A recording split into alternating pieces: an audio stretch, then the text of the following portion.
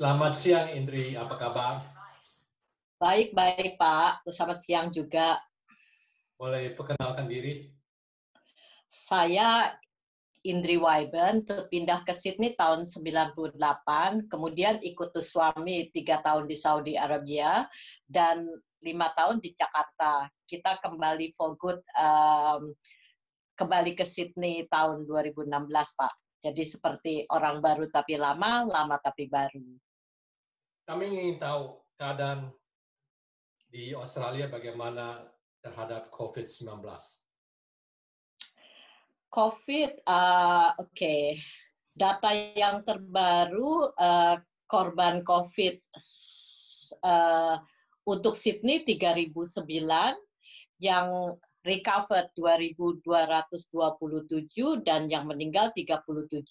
Sedangkan untuk seluruh Australia, korban confirm 6.725, yang recovered 5.602, dan yang meninggal 84, Pak. Bagaimana dengan masyarakat Indonesia setempat?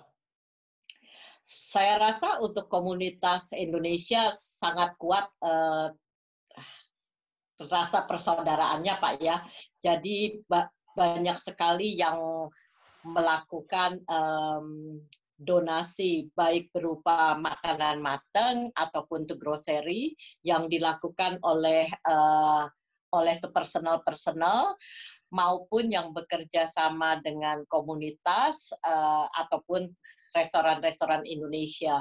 Selain itu juga banyak juga komunitas um, yang ada tuh di Sydney ya Pak ya. Contohnya seperti uh, relawan tuh GWJ. Saya adalah pengurus tuh di GWJ, kami melakukan mengumpulkan tuh donasi untuk dikirimkan ke Sumatera Utara, Pak.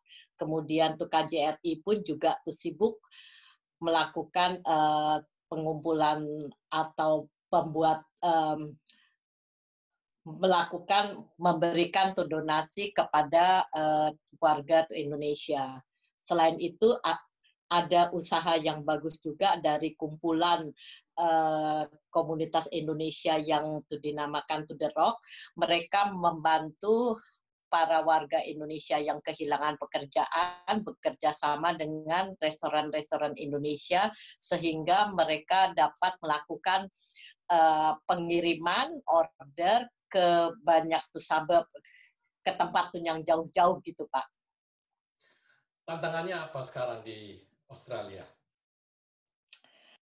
Sepertinya uh, banyak orang lokal yang sudah bosan tinggal tuh di rumah ya Pak ya. Jadi mereka ba banyak yang melanggar tuh aturan uh, seperti mengunjungi ataupun berenang ke Eh, pantai-pantai sehingga polisi juga cukup repot juga menghandle Pak.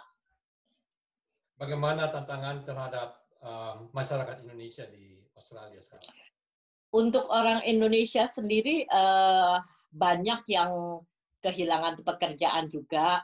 Uh, untuk yang warga negara ataupun yang PR mendapat mendapat support dari pemerintah, sedangkan untuk para pelajar uh, yang uh, budgetnya tuh pas-pasan uh, agak susah juga ya Pak ya. Kemudian ada juga tuh jenis uh, yang para pemegang working holiday to visa Pak.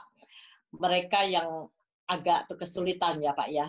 Uh, jadi mereka harus memutuskan antara tetap berusaha tuh di sini dengan usaha kanan kiri atau mereka harus kembali ke Indonesia. Itu Pak. Apakah Bu Indra bisa memberi pesan yang terakhir?